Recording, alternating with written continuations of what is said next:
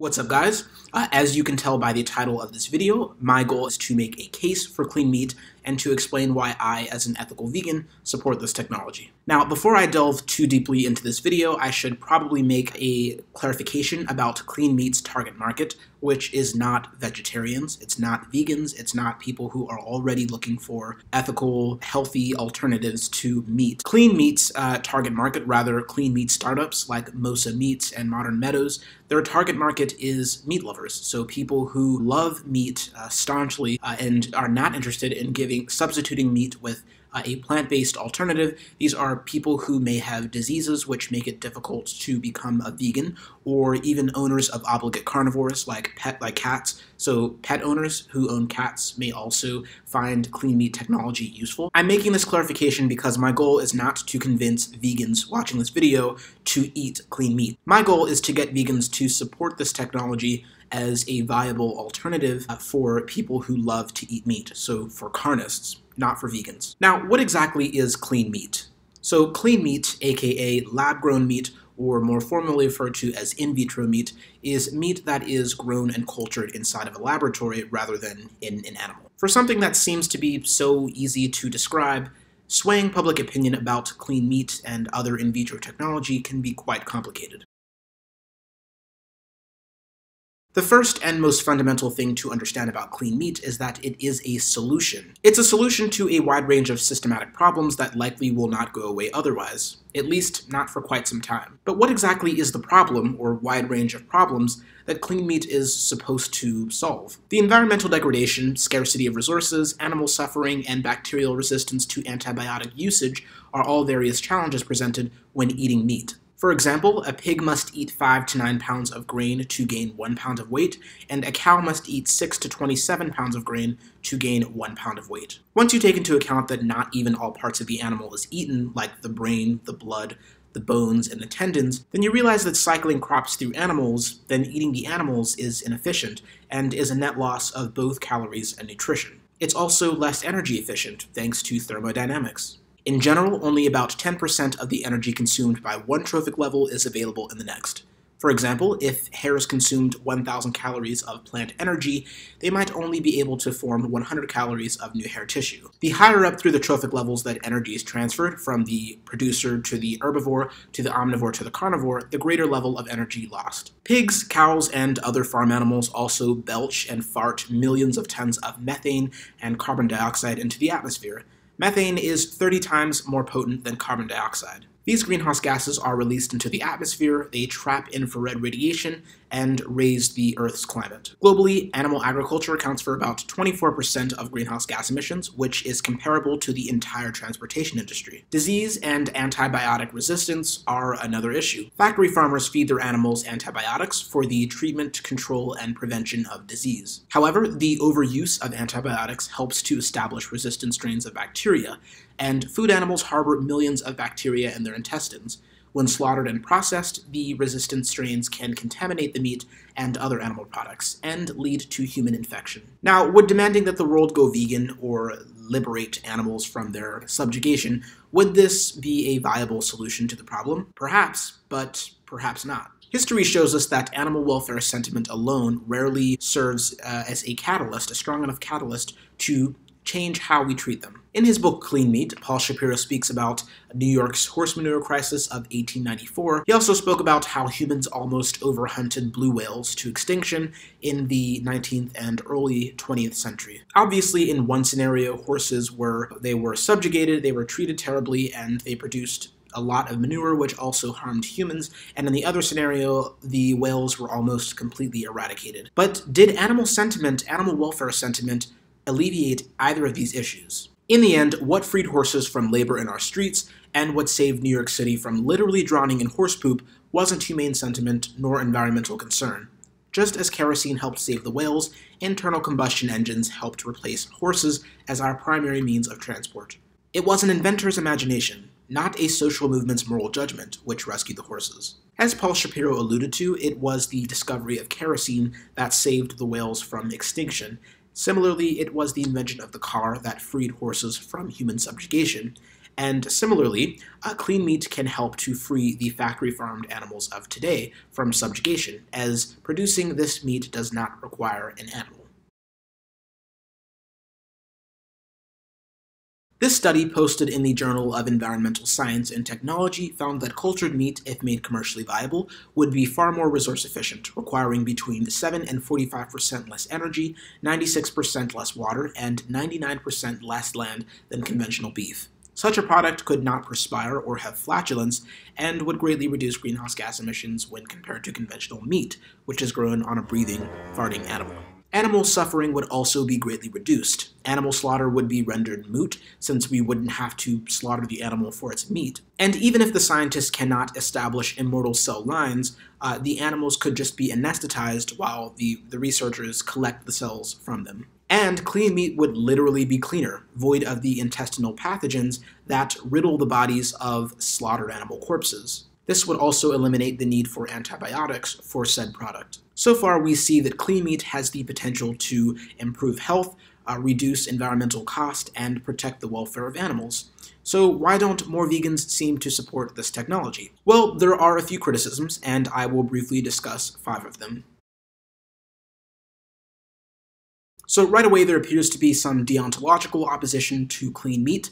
Uh, the two most common arguments I hear from the deontological vegans are, one, it's meat, so it cannot fall under any, uh, or the, the most commonly accepted definition of vegan, which is someone who does not eat animal products. A second deontological argument against clean meat is that by eating clean meat, we are exploiting the animal's DNA and stealing their cells without their consent. First, veganism is a living, nuanced ideology, so it can be generally difficult getting a large group of people to concede to one very specific definition of vegan. One thing that can be said to be true for many vegans is that veganism is a convenient way to significantly reduce animal harm, and meat, clean meat, has the potential to vastly reduce or even eliminate animal harm. And the deontological argument about the exploitation of their genes is pure nonsense. Animals cannot give consent to researchers to have their cells collected and harvested. They don't understand consent. They are not capable of giving consent.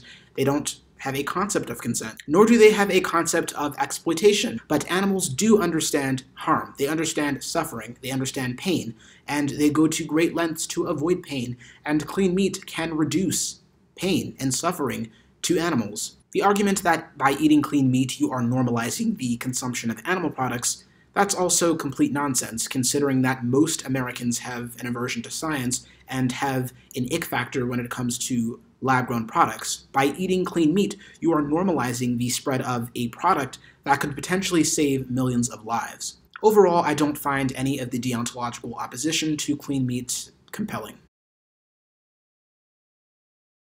Fetal bovine serum is exactly what it sounds like. It's a blood-based fetal serum extracted from the recently slaughtered corpse of a cow. Now, FBS is a commonly used serum supplement in in vitro culture because of the high level of growth factors uh, that stimulate stem cells. This obviously has some ethical implications because of the potential to cause harm to the fetus. I do agree that clean meat that is used with fetal bovine serum uh, should not be considered vegan, and it probably would not be more ethical than regularly conventionally produced meat. Fortunately, commercially available serum-free alternatives are viable options for culturing animal cells, and researchers have been able to effectively culture animal cells with a serum-free medium extracted from maitake mushrooms. Some cells show an even higher rate of growth with maitake mushroom extract than with fetal bovine serum. This could serve as a more ethical and feasible alternative to fetal bovine serum for culturing animal cells. Immortal cell lines are is something that most clean meat startups are trying to establish so that they don't have to continuously do biopsies on live animals. Mosa Meat's claims they still need donor animals, with just one sample of a cow being able to make 20,000 tons of beef. This is causing much less harm than completely slaughtering the animal for its meat, uh, but uh, it is not necessarily the outcome that most vegans would feel comfortable with if they are going to support this technology. One solution is to establish immortal cell lines that can be shared between clean meat producers and used as a consistent, indefinitely reproducing source of meat. While even differentiated cell lines can be immortalized through genetic tricks, Pluripotent and multipotent stem cells, which can differentiate into all of the necessary cell types within the final product, are often naturally immortal, making these especially appealing for clean meat applications. Researchers are working hard to establish immortal cell lines that can be shared between companies and used as a continuous source for clean meat. So this would uh, render the collection of live cells from animals moot. There were also valid concerns about the maturity of this technology and the feasibility of this concept. Some vegans even claim that supporting clean meat is like putting blind faith in some technology. I still think this is pretty silly considering that clean meat is not something like science fiction.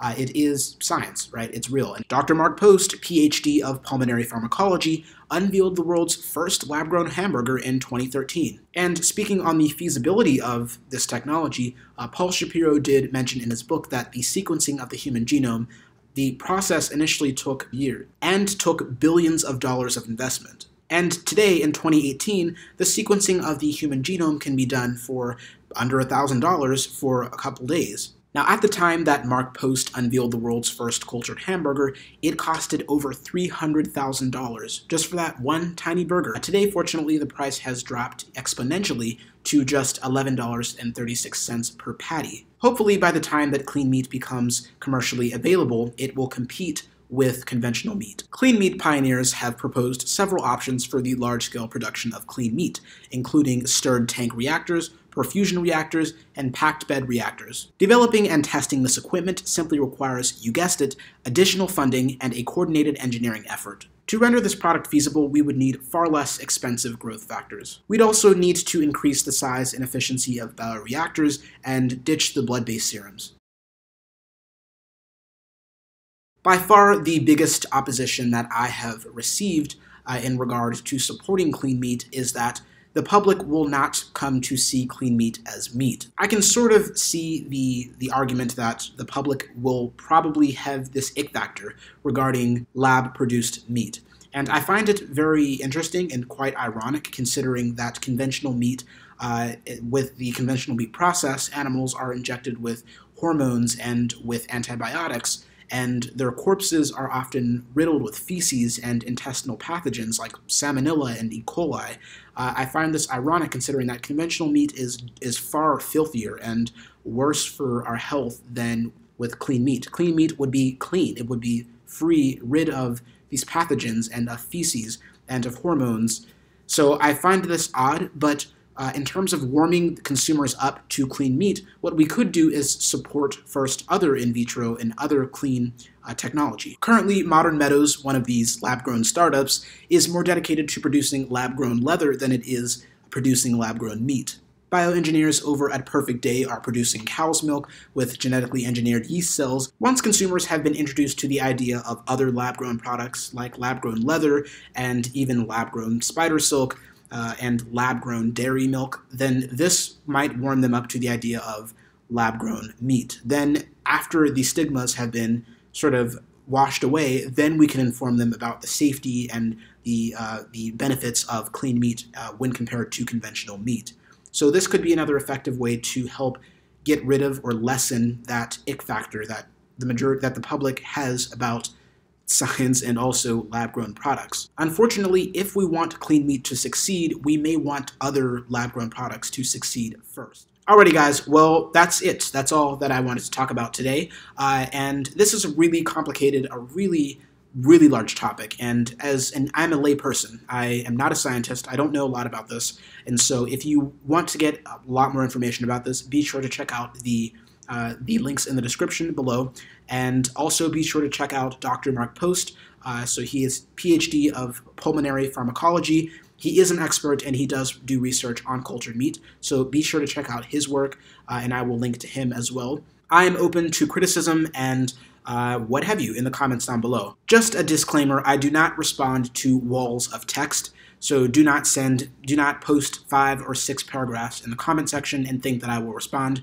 I won't respond to it. So if you want a longer style debate with me, then you should join the Philosophical Vegan Forum. I'm really active there, and that's that's more appropriate for for, long comments. I'm not going to be on YouTube commenting like that. So yes, that's all. Thank you so much, guys, for watching, and peace.